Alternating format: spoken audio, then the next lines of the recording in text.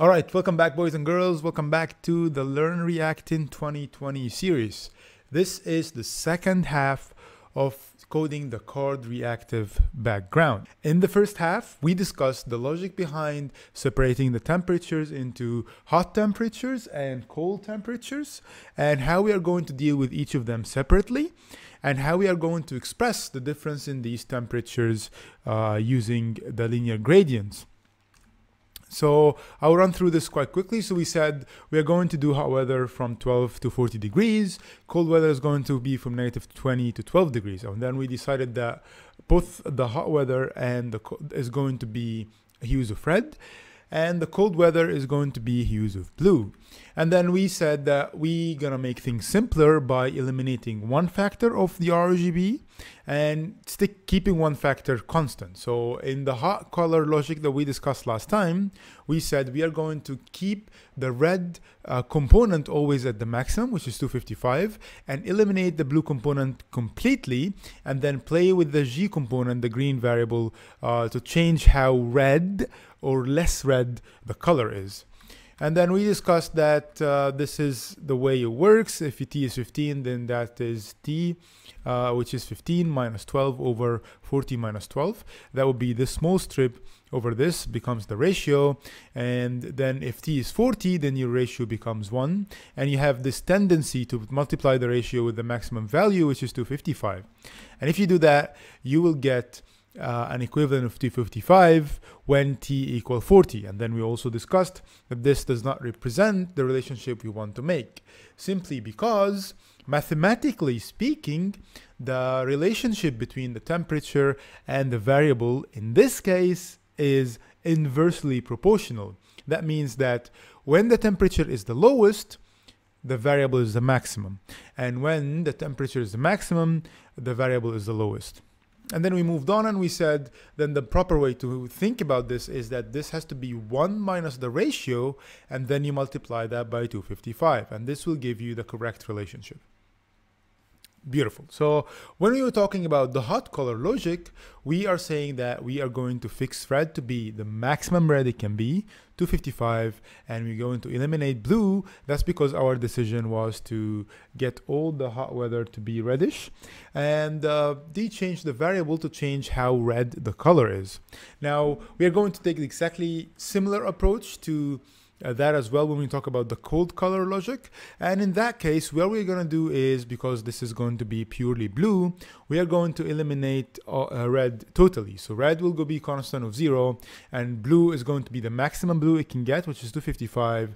But then we are going to make this more saturated blue or let's just put it this way let's just make it more blue or less blue based on the green number that we put here.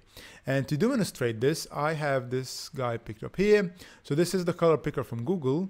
And if I change this red to zero and I give it the maximum value here and I give this a zero then this is the darkest blue that, that you can get. And if I maximize this to 255 sorry, the 255, I get kind of the, the lowest blue that you can get.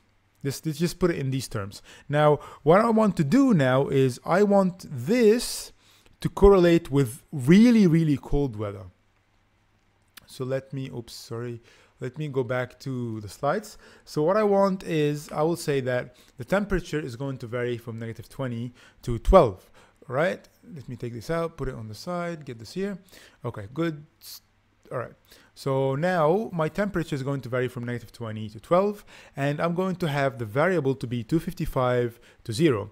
That means that when the temperature is negative 20, I want this color to be there because that color is really, really light blue, which in my opinion is communicating really, really cold weather.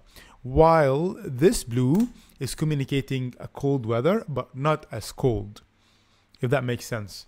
And we're going to take the same approach again. What we're going to do is we're going to say 1 minus the ratio. And the ratio in this case is going to be t minus minus 20. And then that is going to be divided by 12 uh, minus minus 20 because 12 is the maximum. So what we get here is t plus 20 on the top and over there will be 12 plus 20 which is going to be 32. So for example, if your t is equal to 12, then this ratio is going to be 1 minus 1 and is going to be 0. And if you multiply that by 255, you will get 0.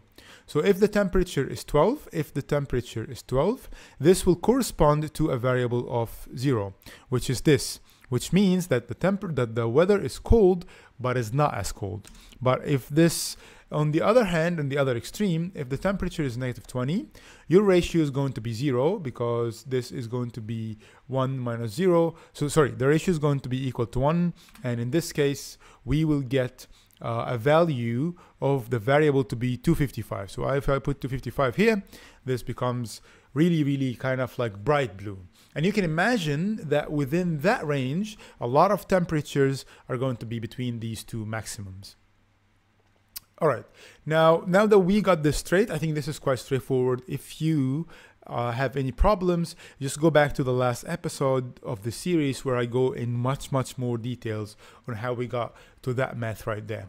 Now, with that in mind, I am going to keep this guy open. I will definitely have to go back to VS Code. Now, in VS Code, now we have to separate our logic into two uh, separate kind of the statements. Some statements will get executed when uh, temperature is more than 12, which is going to be the the cold the hot weather logic, which is what we have here already.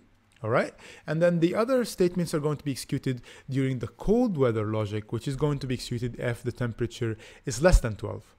That's it. That to, to be able to do that, it's very very simple. I am going to cut this, and then I'm going to give uh, an if statement. So I will say if props.temp, if props.temp, if props.temp equals, if props.temp, sorry, if props.temp is more than 12, if it's more than 12, then execute the following commands. Execute this.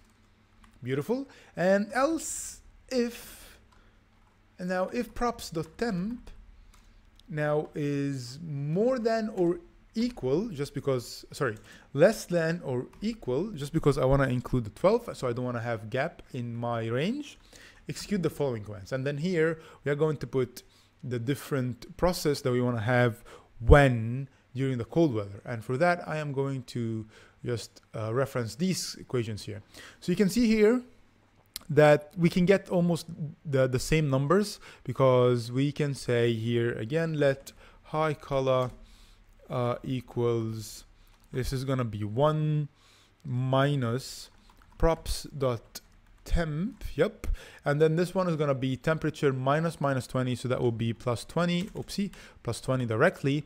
And then you multiply you divide this over 12 minus minus 20 which is 12 plus 20 32 and then whatever comes out out of all of this is going to be multiplied by 255 and that's it. So this is your high color. And then we're gonna do let low color also equals uh, high color just now high color minus 150 so we're gonna stick to the same kind of like pattern as well.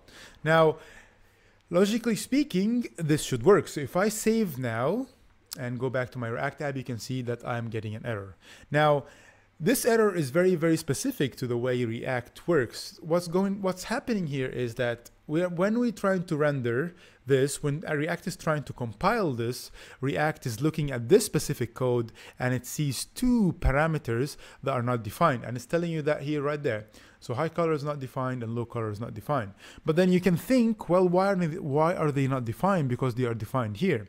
What happens is React is trying to compile your code first and then tries to render it with the props. So when it's trying to compile your code, it's not able to do that because these two variables are not really defined. There is a very, very simple fix for this, which is going to be, we are going to declare, sorry, declare high color to equal zero and also declare low color, low color, oopsie, sorry, low color to also equal zero. And this is very simple. And then I need to remove these two lets from here, this one, this one, and this one. And I save now, and now it's rendering properly. So I zoom out again. Now this is rendering properly. If I go back to my app, I need something here that's less than 12. So let's just put 10, oopsie, apologies. Let's put 10 degrees here. Uh-huh and save this and you can see that this is actually not working. Now this is actually quite interesting. So why is this not working? You remember when we talked here that in the cold color logic, we have blue to be 255 and the red is zero. But what we are applying here is the same pattern from our hot weather. And that's why you see it changed, but changed in a hot weather fashion. So what I want to do now is I want to change this string that's being applied to the background uh, property here when it comes to hot weather, I need to have this as 255 high color 0 to 255 low color 0. But for cold weather, I need it to be 0, high color 255, 0, low color 255. Now this is very simple to do. So what I'm going to do here is I'm going to define first, I'm going to define let a variable called bg and this variable is just going to be null. It doesn't really matter what happens inside that variable. We are not really interested. And then we can say let, oh, sorry, we can say now that bg is going to be equal to, and I'm not sure if you guys have seen this before or not, but what I'm going to do is I'm going to cut this and I'm going to paste this inside to um, backticks, backticks. So when I do that, this backticks is basically um, coming up with a string. It's making a string that has variables inside of it. So these are backticks. If you don't know where the backticks are, they are next to your number one on the keyboard, right down, right below the escape key. So you press it once and it give you uh, two backticks and then you paste what we just did. So this is um, this is a string that's being compiled and composed on the fly using these two variables that we just made. And I'm going to copy this BG as well and put it here. So when we have high temperature, let me add some. This is for uh, hot weather. This is for hot weather, correct? And let me add this here as well. Uh, this is for cold weather go for max screen. So we can see here that this is being executed when I'm in hot weather and this is being executed when I'm in cold weather. And when in cold weather, like we said, zero for red, zero for red, another zero here for red, and these two are going to be 255 here and 255 here. And last but not least, here for BG, for background, I'm just gonna put it, uh, sorry, a variable, uh, JavaScript, see? A JavaScript variable here called bg. So I'm taking that string that we just declared here and I'm gonna apply it here inside the div of uh, the style of my div. Once I save this, Prettyfy just makes things a little bit better and you can see here that things are looking very different now. So now if I change this to negative, uh, say negative five and save, okay. So now once I put this here as negative five, you can see that the outcome is really not what we were looking for. And the simple reason for that is that we have been passing strings to the temperature all along. And that is really not a good idea. So what you want to do here is change all of these to actual numbers, which is what we're going to get from the API anyway. We are going to be getting numbers from the API. So instead of passing strings here, let's just pass uh, pass proper numbers. And once I save this and refresh it, now everything here is rendering properly. And now I can also change this to negative 20. That's my minimum. And you can see here, that's beautiful, beautiful gradient from really, really cold to slightly warmer blue. And if I change this to again to negative 15, you can get a similar effect as well. And this is how uh, the app is going to react to different temperatures that we would get from, um, from uh, the API. And uh, yeah, this is basically it. So if I do put this as zero, you can see this is looking like that. If I, I actually can play with this all day long. it's really, really cool. I love it. Um, yep, that's it. This is it for this uh, lecture. This is it for this part of the series. In the next part of the series, we will start uh, dealing with the, um, the image that happens here and we will think about how we can change this image based on a string value that will come from the API. So if the API says uh, the weather is cloudy, I want to show a specific image. But if the API says the weather is rainy, I want to show a different image. I'll keep that to the next video. Like this video if you liked it, dislike this video if you dislike it. If you guys have any requests or you guys have any feedback on the way I teach, please let me know down on the comments below. Thank you very much for all the people who were subscribing to my channel recently. I promise that I will finish this series and I will get to much, much more awesome stuff afterwards. Thank you very much. I will see you guys in the next one. Bye bye.